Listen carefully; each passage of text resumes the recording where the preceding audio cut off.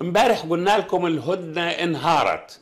وإحنا زي ما قلنا ما بنضربش بالودع ولا بنقرأ الطالع. كان واضح جدا إنه نتنياهو مهزوم ويريد العودة إلى القتال لتهديد حركة حماس للضغط على حركة حماس والجهاد الإسلامي وباقي فصائل المقاومة من أجل تقديم تنازلات لأن المفاوضات الحقيقية بدأت لأنه معظم الأسرى المدنيين جرى الإفراج عنهم. اجت مرحلة ثانية مرحلة المفاوضات لإطلاق سراح العسكريين. هناك جنرالات كبار جدا. هاي ثروة ثروة كبيرة جدا لدى آه، كتائب القسام والجهاد الإسلامي وباقي الفصائل. فبدهم يضغطوا على السنوار إنه يعني يخفف شروطه. لكن على مين؟ في حقيقة في أمر واضح جدا وتخطيط وقدرة مقاوم وقدرة تفاوض عالية ومتقدمة جدا. هذا هو الفرق. هذا هو الفرق الآن. إحنا الشعب الفلسطيني كان يبحث عن قيادة. قيادة تعرف كيف تتعامل مع هذا العدو. الآن وجدت هذه القيادة واستطاعت أولا تحقق انتصار كبير وأنا أقول انتصار كبيرا جدا بأيام يوم 7 أكتوبر. بعض الناس بقول لك يا أخي والله مش عارف كثير على وسائل التواصل الاجتماعي إنه استشهد بقولوش حتى استشهد بقولوا قتل أكثر من 15000 20000 وين الانتصار؟ يا أخي الأمور لا تقاس بأرقام الشهداء والضحايا. هذا قدر الإنسان لكن في ناس بدها تدافع ناس بدها تستعيد حقوقها. هذه القصة الأساسية. طيب الأمر الآخر بدي أحكي عنه أنه هي إسرائيل بدأت المرحلة الثانية من الحرب أو من حرب معركة أكتوبر. طيب ما كمان المقاومة بتبدأ وبترد. تبدأ الحرب وبترد. يعني اليوم فورا صارت المواجهات من المسافة صفر. المقاومة ضربت حاملة آه، جنود إسرائيلية من نوع النمر وبصواريخ مضادة وقذائف واستطاعت أن تدمرها. هذه على الأقل يعني من سبعة لعشر جنود قتلوا وحتى ضباط طبعا قتلوا في هذه أو أصيبوا في هذا القصف. ولسه هذه البداية. الأمر الآخر هو عودة الصواريخ. في يعني حركة حماس والقسام والجهاد أطلقوا صواريخ على سدرود. على أسدود على العسقلان على تل أبيب. يعني كمان هاي إلها تأثير كبير جدا. يعني إنه هم بدهم ينكدوا علينا مثلا أو على الطرف الفلسطيني لا في رد عليهم. استشهد مئة شخص هذا بوري حقيقة قديش هؤلاء مجرمون.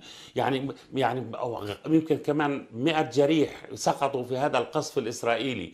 وربما يتطور هذا القصف. لكن يعني هذا لن يظل بدون رد على الإطلاق. فورا اخترقوا الإسرائيليين الهدنة آه، بدأت صفارات الإنذار تلعلع في الجليل الأعلى والجليل الأدنى. يعني هذا يعني صواريخ انطلقت من جنوب لبنان باتجاه اللي هي المستوطنات والمستعمرات الإسرائيلية في شمال فلسطين المحتلة.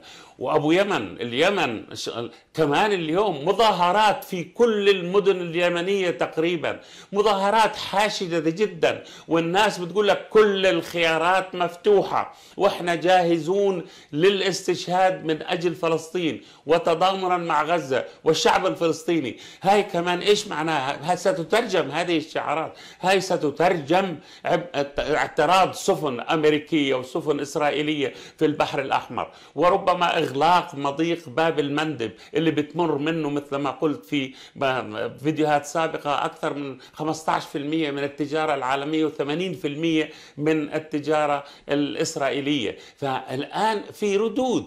هيكون يعني لن يمر هذا العدوان الإسرائيلي بدون رد. ويعني صار في هدنة الكل التزم بالهدنة. إذا صار الآن في عودة للقتال الكل الآن بيرجع للقتال وبترجع الصواريخ. يعني إسرائيل تقود العالم إلى الدمار. هذا نتنياهو مش فارقة عنده. بده يدمر الكل. فهذا الشيء الغريب إنه التسريبات الإسرائيلية الآن. يعني بيدعوا إنه في خلاف بين بلينكن أنتوني بلينكن وزير الخارجية الأمريكي واللي هو جانت يولف آه، غلنت اللي هو وزير الدفاع الإسرائيلي أو مع نتنياهو. هذا كله كذب.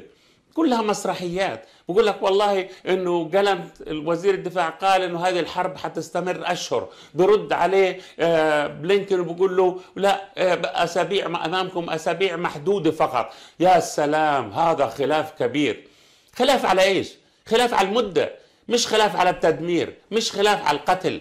يعني هي أمريكا هي اللي تدعم هذه الحرب وهي اللي متورطة في هذه الحرب.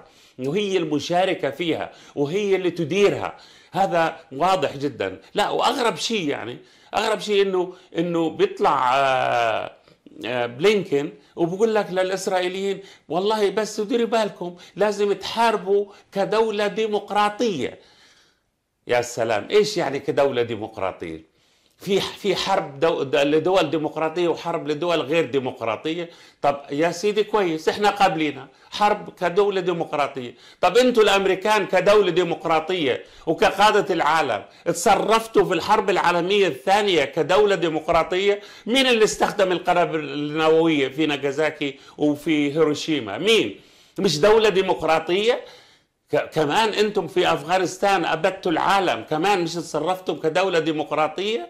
طيب كمان في العراق لما قتلتوا 2 مليون شهيد عراقي تجويعا ثم قصفا وقتلا مش كنتوش دولة ديمقراطية وغزيتوا العراق باسم الديمقراطية؟ طيب وهاي إسرائيل الآن اللي بتقصف الأبرياء والأطفال مش الدولة كنتم تقولوا عنها الدولة الديمقراطية الوحيدة في في المنطقة وفي العالم كمان؟ يعني هاي مسائل واضحة جدا. أنا في تقديري هاي الحرب ستتطور. لكن قبل ما أنت يعني أبحث أو أحكي في التطور أنا بستغرب. طيب إسرائيل اخترقت الهدنة وإسرائيل قتلت مدنيين. طب إيش بيعمل المندوب القطري في في في في الدوحة؟ وإيش بيعمل اللي هو رئيس الموساد الإسرائيلي في الدوحة؟ وإيش بيعمل اللي هو رئيس المخابرات الأمريكية السي آي في الدوحة؟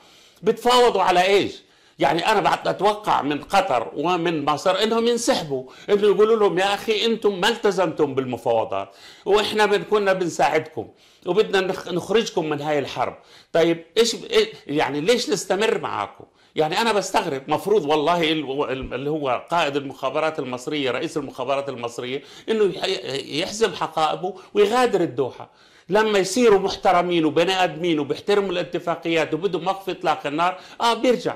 ما في مشكلة. وشكر الله سعيه. وسعي كمان قطر. لكن بيستمروا في المفاوضات. والإسرائيل بتقصف في الأبرياء في قطاع غزة.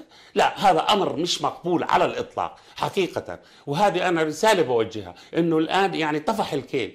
هذه إهانة لكم. قبل ما تكون إهانة للشعب الفلسطيني قبل ما تكون إهانة للأمة العربية والأمة الإسلامية. فكونوا كونوا فعلا يعني رجال في المفاوضات ووقفوها. ما تكونش بدهم مش يسمعوا الكلام. لا سلام عليكم. يعني هذه هذه الأساس. إحنا مشكلتنا إنه دائما نظهر بمظهر الاعتدال والحضارية والمرونة. يا أخي أي مرونة هاي؟ يعني هذه المرونة ما لها قيمة على الإطلاق. فأنا بقول لكم الصواريخ الآن رجعت على الجليل. الصواريخ الآن رجعت على قطاع غزة. آه، يعني من من قطاع غزة آسف على تل أبيب وإلى إلى آه، سدروت. وإلى أسدود بلدي بلد أهلي كمان وإلى المجدل. هذا شيء مهم جدا. ليش مهم جدا؟ هذا بيزعزع استقرار الداخل الإسرائيلي يعني بينسف الأمن والاستقرار. يعني الآن بيعمل آه، أزمة معنوية كبيرة جدا. هذا يعني الردع ما زبط. الردع انهار والاستقرار انهار والأمن انهار. يعني بيقدروش يتحملوا هم هذا الشيء حقيقة. فبعد ما كانوا يحكوا عن التهجير الآن بدهم يتصدوا إلى الصواريخ. مش حيقدروا. وحتجيهم من الجنوب ومن الشمال. وبعدين كمان زي ما حكيت إنه البحر الأحمر حيصير مواجهة. اللي هو ال- الأشقاء في اليمن سيعترضوا سفن إسرائيلية وربما أمريكية لأنه أمريكا الآن في قناعة أنها هي مشتركة في هذه الحرب.